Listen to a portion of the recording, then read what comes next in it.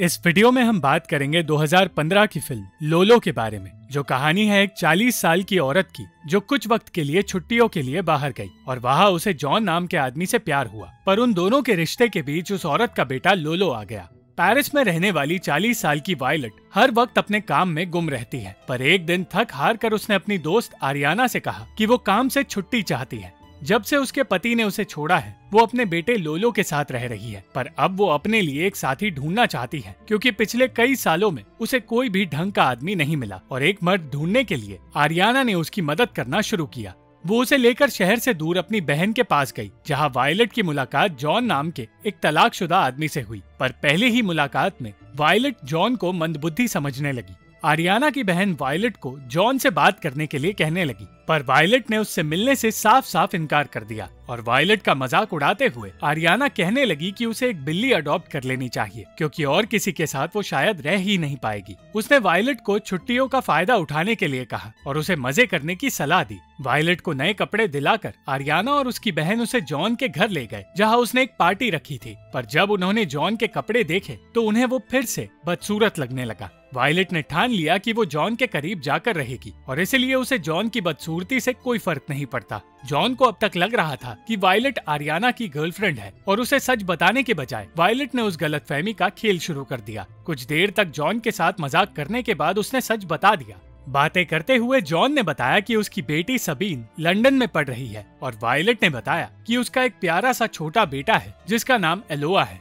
John के दोस्त Gerrard का मानना था कि वायलट जॉन को पसंद करती है, इसलिए ये सारी बातें बता रही है। पर जॉन जानता था कि वो उससे बिल्कुल अलग है, इसलिए जॉन को कभी पसंद कर ही नहीं सकती। वायलट को जॉन अजीब तो लगा, पर वो उसे सचमुच पसंद भी करने लगी थी। और अब अपने आसपास की खूबसूरती के मज़े उठाकर उसका जॉन को अलविदा कहने का वक्त आ गया। वायलट को समझ भी नहीं आया कि कब वो जॉन से प्यार करने लगी, और उन दोनों का रिश्ता देखकर आरियाना हैरान हो गई। वो दोनों उस पूरे हफ़्ते की बात करने लगे, जो वायलट ने जॉन के साथ बिताया, और उनकी बातों ने पास बैठी एक औरत को अनकंफर्टेबल कर दिया। कुछ दिन गुजरे, और जॉन और वायलट अपने काम में बिज़ी होने लगे। जॉन कुछ दिनों में पेरिस आने वाला था, और वायलट उस दिन का बेसब्री से इंतज़ार करने लगी। जैसे ही जॉन पेरिस आया, वायलट उसे अपने घर ले गई, जहाँ उसकी मुलाकात एलोआ से हो गई। जॉन उसे देखकर हैरान हो गया, क्योंकि वायलट ने कहा था कि उसका एक प्यारा सा बेटा है, जिसे वो लोलो बुलाती है, और उसे लगा कि वो बेटा एक छोटा बच्चा होगा। पूरी रात वायलट के साथ रहने के बाद अगली सुबह जॉन को लोलो का सामना करना पड़ा, और उसकी घबराहट बढ़ने लगी। उस घर से निकलने के बाद जॉन अपनी नई ज़िंदगी की शुरुआत में लग गया, और वायलट ये जानने की कोशिश करने लगी कि लोलो को जॉन पसंद आया या नहीं।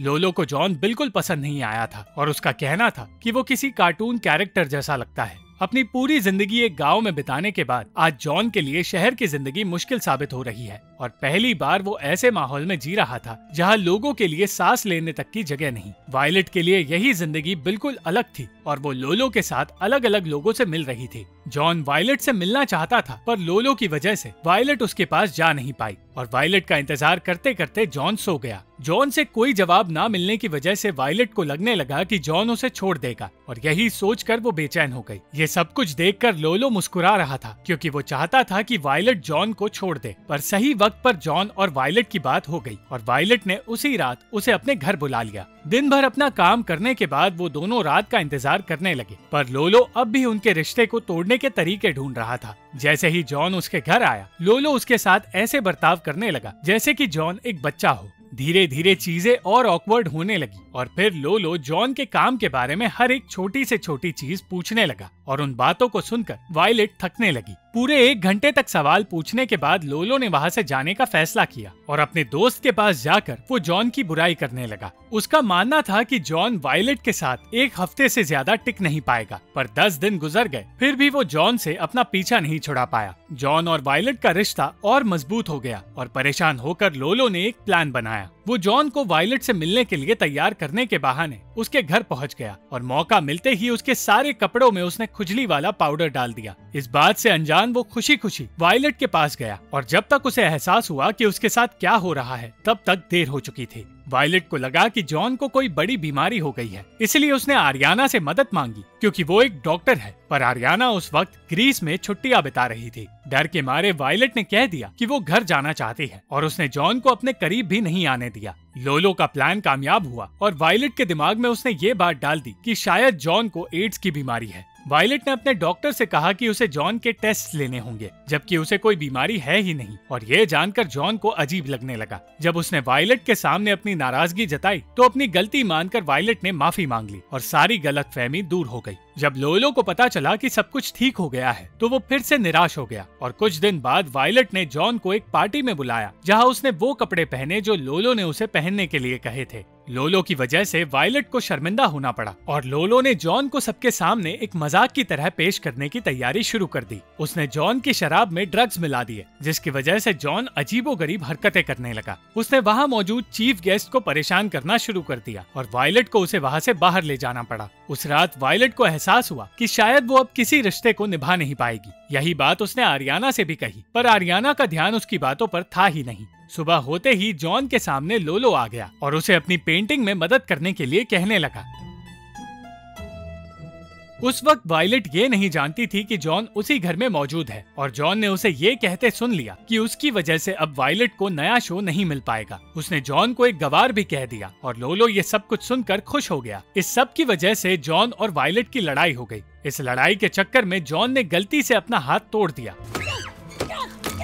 और जिस अजीब से डॉक्टर के पास उसे ले जाया गया, वो ये कहकर उसका मज़ाक उड़ाने लगा कि पहली बार उसने ये देखा है कि प्लास्टर लगवाने के बाद किसी का हाथ टूटा है। धीरे धीरे जॉन और वायलट का झगड़ा सुलझ गया और एक रात वायलट ने जॉन से कह दिया कि वो उसके साथ रहना चाहती है। जॉन तो उसके घर में रहने के लिए मान गया, पर अब वो ये सोच रही थी कि लोलो और जॉन दोनों एक घर में कैसे रहेंगे। आरियाना का कहना था कि उसे लोलो को घर से निकाल देना चाहिए, क्योंकि अब वो खुद के लिए एक घर खरीद सकता है, पर ऐसा करना वायलट के लिए आसान नहीं था। लोलो ये जानकर खुश नहीं था कि वायलट और जॉन का झगड़ा सुलझ गया है और वायलट को एहसास हुआ कि शायद लोलो को उसकी खुशी की परवाह नहीं है। जब यही बात वायलट ने कही तो लोलो को दूसरा घर ढूँढने के लिए राज़ी होना पड़ा, और वो अगले ही दिन जॉन के घर शिफ्ट होने के लिए तैयार हो गया। लोलो ने अपने दोस्त के साथ जॉन का सामान शिफ्ट करने में उसकी मदद तो की, पर इस बीच भी उसने जॉन को परेशान करना नहीं छोड़ा। जॉन ये नहीं जानता था कि लोलो का दोस्त हैकिंग जानता है, और जब दो दिनों के लिए वायलट दूसरे शहर गई, तब लोलो के दोस्त ने जॉन के लैपटॉप को हैक कर लिया।